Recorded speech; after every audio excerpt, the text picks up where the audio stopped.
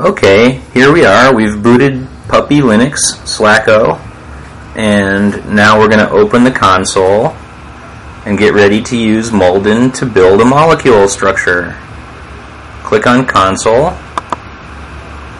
Now we've got the prompt there, and we can see where we are by typing pwd stands for print working directory. We're in the root directory. Let's type ls to list the available directories. And now I want to go into my documents. So we'll do cd space my documents.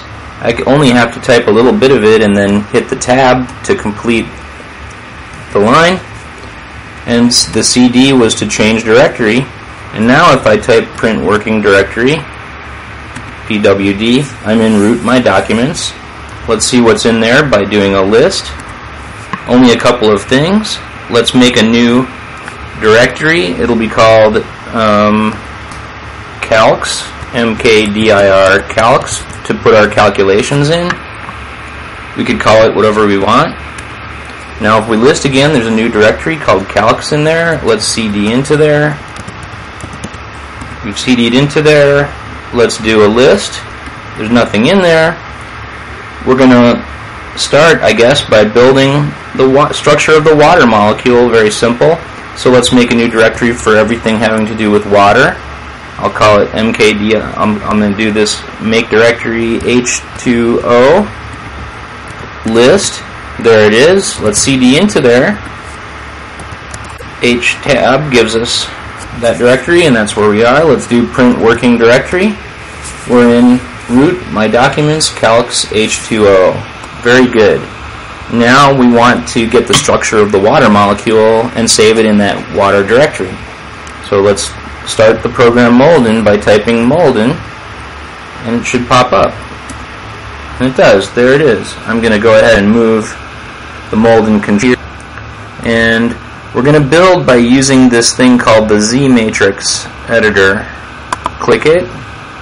It pops up as a we want to add a line. The first line will define the position of the oxygen atom. So we hit add line. See the periodic table. Let's select the oxygen. There it is. It's the first line of a Z matrix. And it doesn't have any bond length, angle, or dihedrals yet because there's this is the first atom and others will be added with reference to it. So let's add the first hydrogen. Add line. Find our hydrogen. And it's saying, so down here it says select one atom to define the connectivity of this center. Well, I need to move, I do that, and I'm going to click on the oxygen and then it'll connect that hydrogen to it. So now we see the oxygen in red, the hydrogen in white. And if we move the Z matrix editor view, you can see that we have an 0.95 bond length. That's 0.95 angstroms, 10 to the minus 10th meter, between hydrogen and oxygen. And now we'll put in the, sec the second hydrogen and finish building this model. Add line hydrogen, Okay, it's now telling us to select two atoms to define the connectivity of this center. That's because what you need is first select the atom that this new hydrogen will be bonded to, and that's also the oxygen, and then select an, an atom where you'll specify the bond angle. So now it popped in, and let's look at the Z matrix editor. This new hydrogen, our third line in the Z matrix is hydrogen connected to atom 1 at a distance of 0.95 angstroms and with a bond angle to atom 2 of 109.47 degrees. That's about the same as the tetrahedral angle. That's perfectly good starting point for the structure of water, but we, we will go further and do some quantum chemistry calculations to improve that structure a bit. So now we're going to uh, we're going to want to save that ZMake. And um, after I move this window up what I mean? Down here at the bottom you have options for the format to write that Z matrix and I'm going to save it first in the Mo- Mopac format, which I like, and we'll call it model.mopac and click on Write Z Matrix. Okay, and it tells us that it successfully wrote that file. And next, we'll also save it in Cartesian format.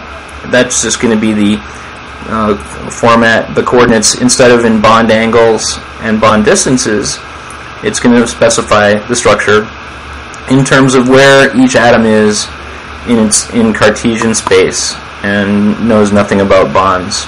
XYZ format we select, and so we're going to save that as model.xyz. And in the next video, we'll talk about how we use these files, like the XYZ file, as the starting point for a quantum chemistry calculation. Okay, that's um, how to get started working with Molden. I guess I'll I'll close the Z matrix window and then I'll think before we quit, which is that you can display your molecule in different ways. Right now we just have it as sticks, but I can choose solid, ball and stick, and then a model might make out of plastic or represent the water molecule. And you see what it does for, for a single water molecule here. So now, the way to quit out of Molden is to go back to the Molden control panel and um, close by clicking on the skull and crossbones. And that's that. Exit Molden. Okay.